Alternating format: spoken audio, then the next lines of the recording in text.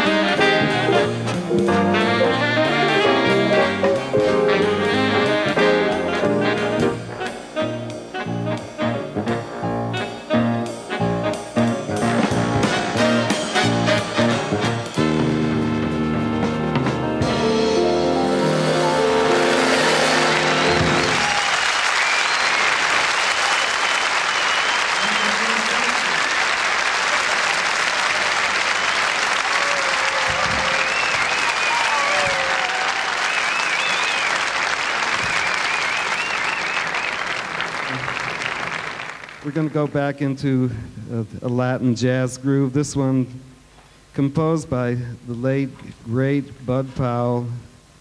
This one entitled Un Poco Loco.